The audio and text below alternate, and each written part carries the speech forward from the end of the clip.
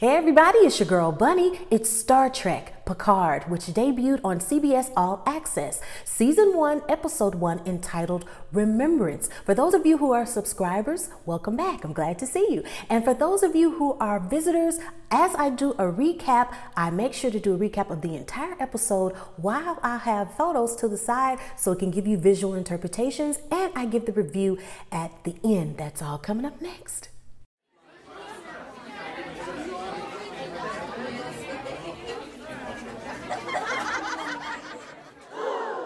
It's Bunny.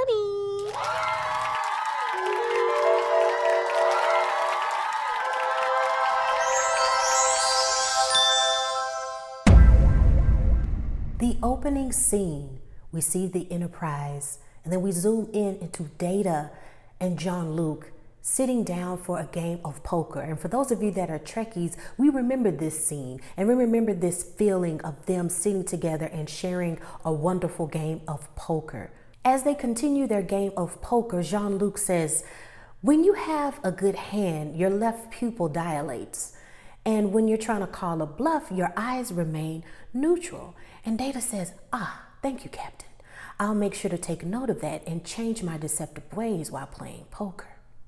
And Jean Luc gives a nice little smirk with that, and they continue, and it's very relaxed upon the Enterprise. And all of a sudden, Jean Luc notices that Mars is outside of the window and he says, That's strange. I never knew that we changed course going to Mars. And then we see that there's turbulence and things begin to shake, and we see several explosions that happen and a big flash which lets us know that this is something that he's remembering during the galactic tragedy. When he awakens, we see Jean Luc in bed and he is approached by his dog that he's conveniently named Number One. And he's comforted by the dog and he goes to his balcony and we see the Chateau Picard. So he's retired to this place of something that he remembers the vineyard in France. The scene shifts to modern day Boston and we zoom into a couple that's sharing a nice evening and a glass of wine and they're talking and they are just totally engulfed in one another, looking in each other's eyes and smiling. And she says, Well, you know, this special celebration that we're having, why don't you use your special techniques to figure out what I have to tell you and what that surprise is? And he says, I don't know. Hmm. It's a surprise and a secret but it's a happy secret. I don't know. Why don't you just tell me?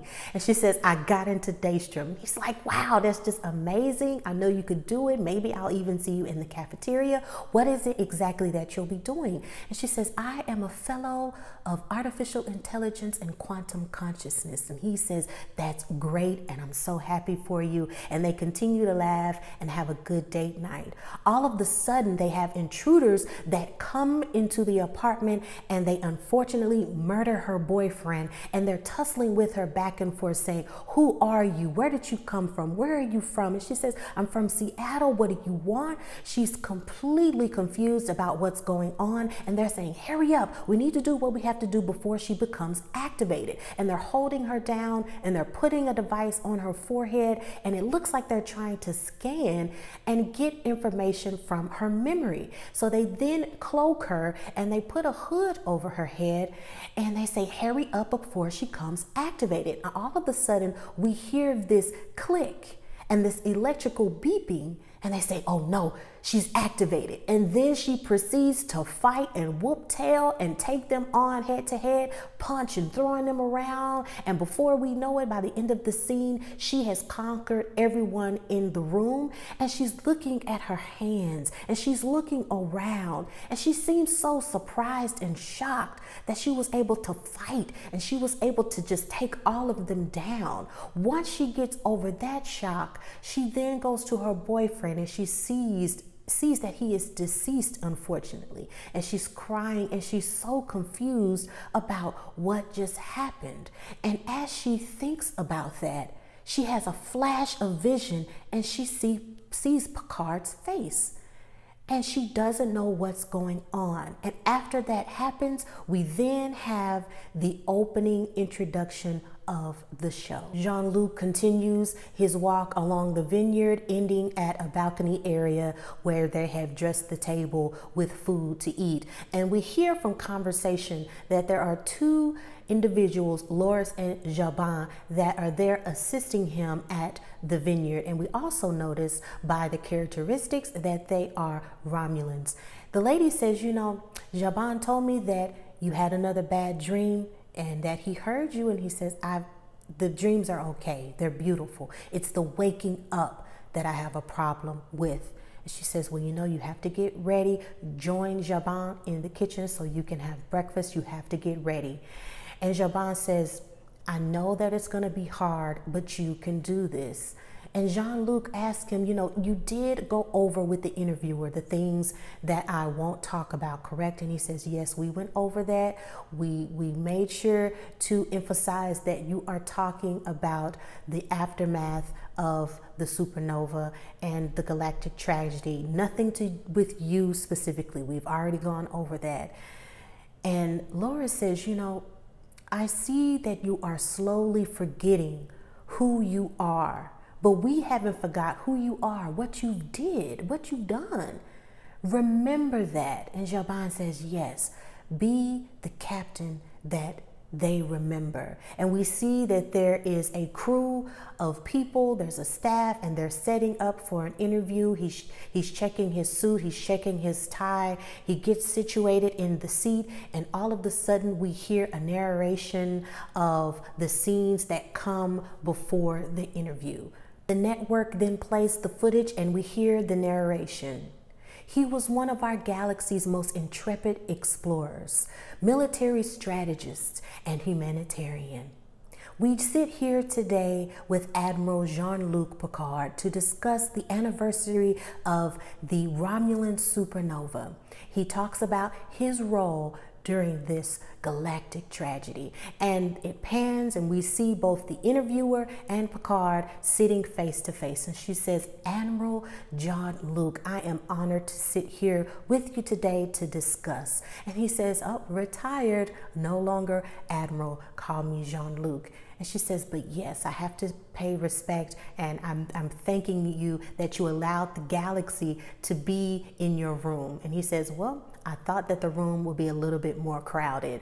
And she doesn't really laugh at that, but he's trying to make her feel comfortable and start the interview with a little laugh. The interviewer's tone seems to feel very pushy in how she begins to ask Jean Luc questions. And she says, Well, how did you feel at that moment knowing that the Romulan sun was about to explode? How did you feel about that? And he says, There's no way to describe how I felt knowing that this tragedy was about to happen. But she says, Well, you don't know how you felt or you felt about that, but at the same time, you caused for this massive relocation of Romulans. And he says, The Romulans asked for our help and they needed us. And she says, Well, you know, I really think that's convenient because a lot of people feel that their resources would have been better and used for something else, a greater good, not helping out Romulans who are known to be enemies of the Federation. That doesn't make any sense. And Jean Luc goes in to describe that the Romulan needed our help and the Federation understood that we needed to help them. It was our duty to help them. And she then proceeds to show footage of the traumatic day of things exploding and death.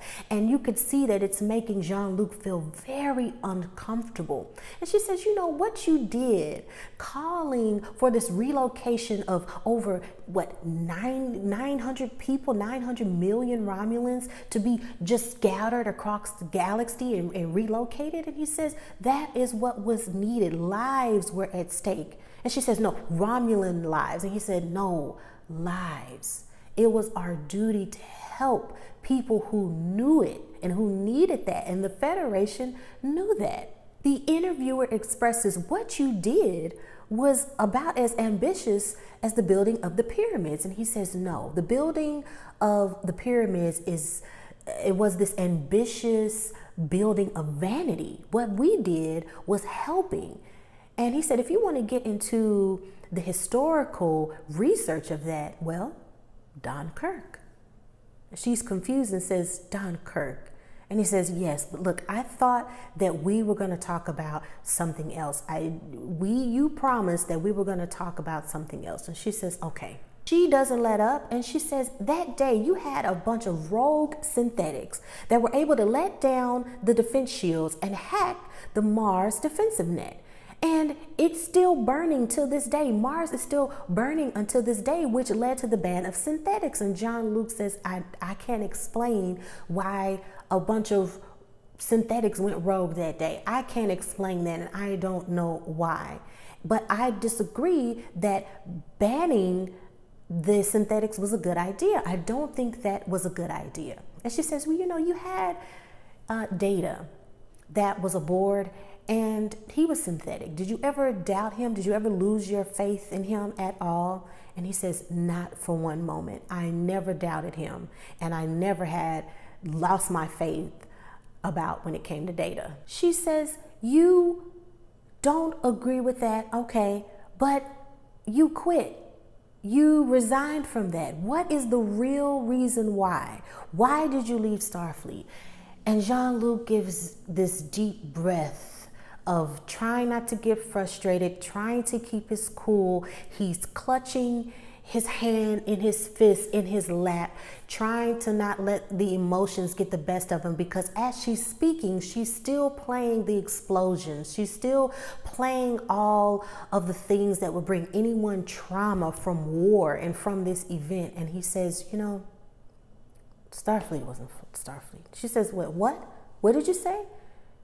And he says, The Starfleet wasn't Starfleet.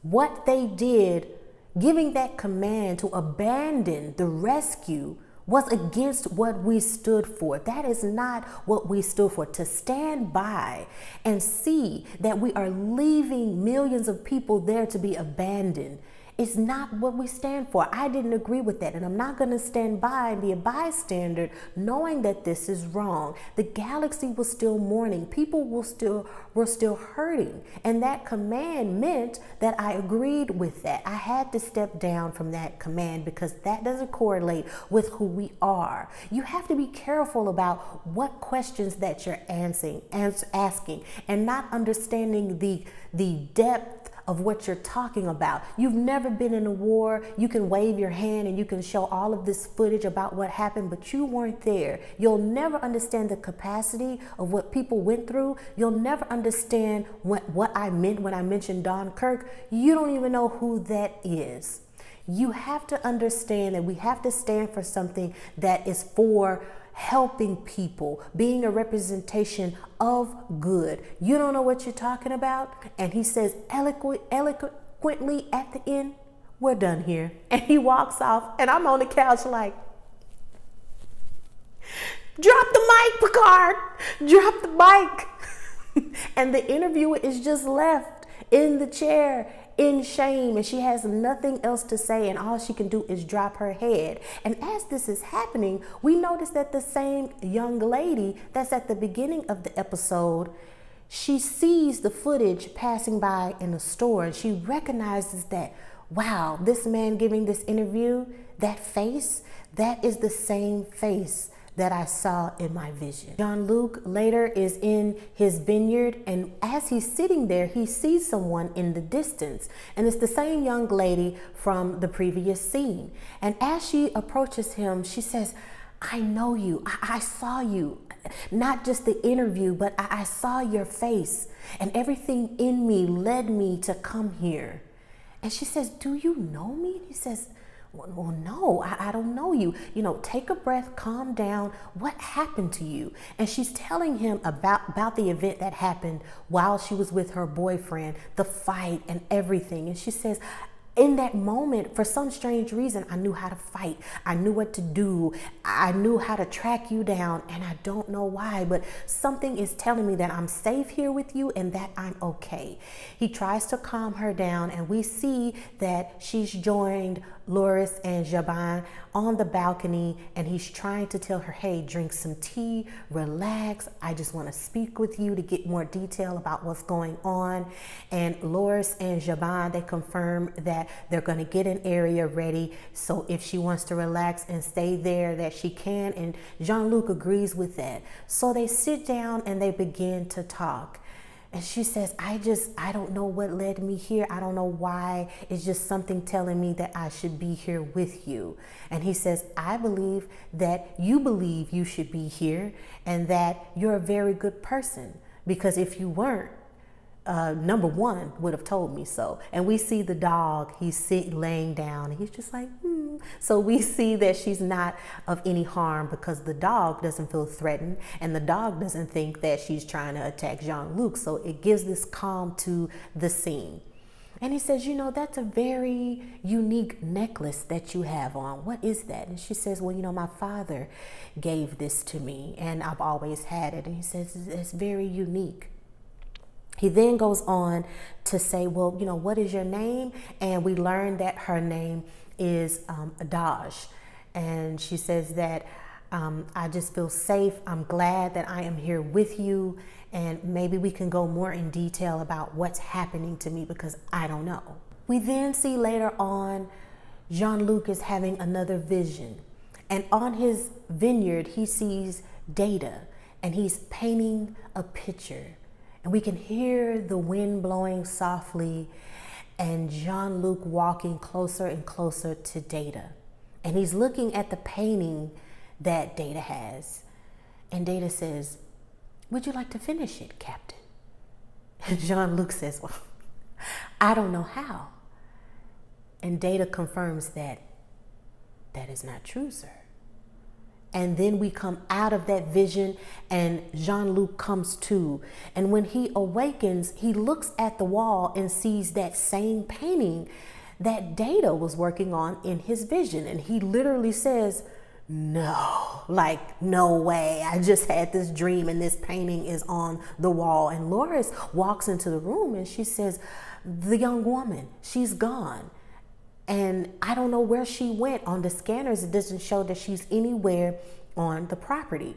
And Jean Luc says, Well, find out what you can find out. If you see anything else, if she comes back onto the property, please alert me. But there's somewhere that I gotta go. I have to leave right now. Jean Luc goes to the Starfleet archives. And as he walks into the building, he asks the index, okay, so no one else has access to these archives, correct? And the index says, well, we did want to sell tickets at one point so everyone could see it, but that didn't work out. And Jean Luc doesn't think that's funny, and he tells her to keep her day job. And the index informs him that if you have any questions, just say index. And he continues to walk into his archive area punches in the code and we see the Picard banner. And for those of you that are Trekkies, I'll mention this in the review. We see the banner, which means a lot to him that he has within his archive. He goes into his archive and he notices after he's punched in his code, he sees a painting, but not just a painting. The painting has the face of Dahj and he says index.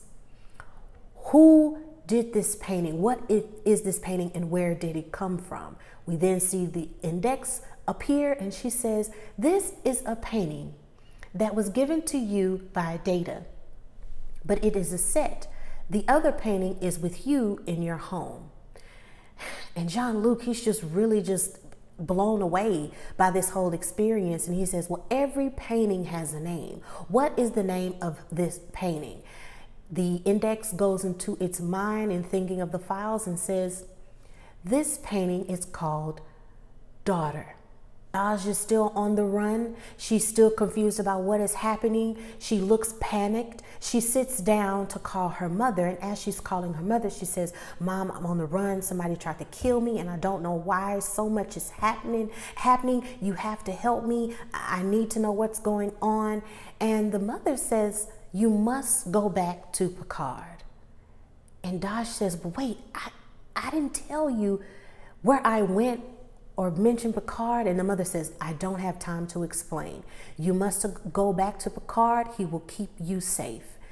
And she says, Well, I, well, now I don't know how. I mean, what am I supposed to do? And the mother says, Close your eyes and focus. And don't just focus, but when you focus, think Picard. And she closes her eyes, and all of the sudden, we see that she's very focused and she pulls these files in the database to track down exactly where Picard is. And it's this source of intelligence that she didn't know she had. Dahj finds Picard at the archives, and he's like, you found me? How, how did you find me here? How did you know I would be here? And she says, It's something really weird going on with me. I, I, I don't know. I knew how to track you down. I knew you were here, and, and, something must be wrong with me. I think I'm schizophrenic. I really don't know. Or I have head trauma. And Picard says, No, no, no, no, no. I just saw this painting, and, and I remembered what it was. And, and it's a painting, and it was of you what you're describing, if my thoughts are correct, you are more important than you know. You're saying that you're having memories that are appearing as flashes. And, and, and if I'm correct, you're more important to me than you would ever know. Data and all of his creations that has a correlation. And, and, and if I'm guessing correctly, then we have got to go to the Daystrom Institute. And she says, well, no, I was accepted to the Daystrom Institute. And he's like, well, that's, that's great as well. But we must go there. You and your thoughts and all of your capabilities, what you're seeing needs uh, security clearance. And not everybody has those security clearances. So we've got to go there now. And as they're discussing this, Dahj says, no, they're here. We've got to go. So they begin to run. And as they're running, Picard's like, well, wait. remembering that she's just taking off running, but he's an older man and he's like, wait, I, I can't keep up with you. So she holds him and she guides them as she runs. But unfortunately, Picard can't keep up with her and how she needs. And as they arrive, as the attackers arrive, she goes into her mode and she continues to whoop butt and kick and flip and punch. And more and more start to come down. And we notice that when they laser strike and it hits the ground we see sparks and we see fire. But when it hits her it has no effect. So that lets the audience know that yes she is very special and there is something very unique going on with her as she's fighting, for Picard is trying to take cover and not get hit by everything that's going on.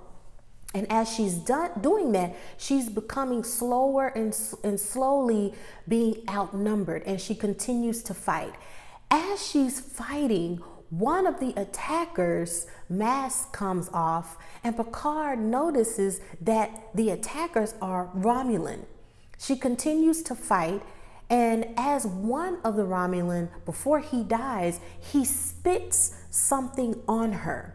And when he spits it on her, the liquid starts to make her body disintegrate and she doesn't know what's going on and the gun that she retrieved that is becoming you know, uh, it's starting to disappear. And we slowly start to see her disappear and scream as she starts to disintegrate. And Picard is just like, no, no. He notices that she's slowly becoming destroyed and it engulfs her. And there is a huge explosion, such an explosion that it kills her and knocks Picard back several feet several feet away. And unfortunately, Dahj is no more. Jean Luc awakens and he sees Zhaban and Loris and they're comforting him while he's on the couch. And she says, Wow, you.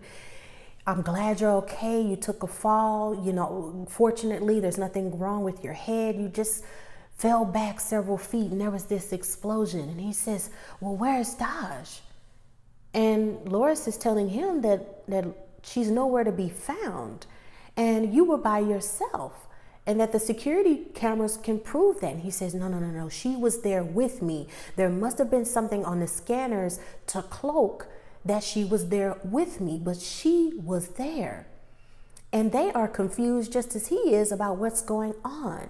And Jean Luc has this epiphany and he says, You know, it's something going on with this entire experience. She came to me for a reason. She says she felt safe and something pulled her towards me. I've got to find out what is going on. For the longest time, I thought I needed to be retired and sitting here, and every day I have these thoughts of what's going on, but I have to live. I'm not living. I'm sitting here and I'm ma- making myself slowly die. I've got to get up and I've got to find out what is happening. I won't take for that an answer for that for that as an answer. I've got to get up and I've got to research what is going on. Picard arrives at the Daystrom Institute and he's walking around, so we know that he's looking for somebody very specific. And then we see a young lady, and he says, "Ah, hello, um, Dr. Jurati." She says, "No, no, call me Agnes." And he says, "You know, what research or what can you tell me, and how can we have a synthetic mimic human flesh?" and she gives this laugh, like, "Yeah, right." And he has this look like, "No, I'm serious." And she goes on to explain that there is nothing of the sort. The research that we have left is very min- minimal, and there's no way to make a synthetic mimic human flesh. So we can't do that, especially after all of the bans. She goes on to the department that used to research this and she shows him an inferior copy of data.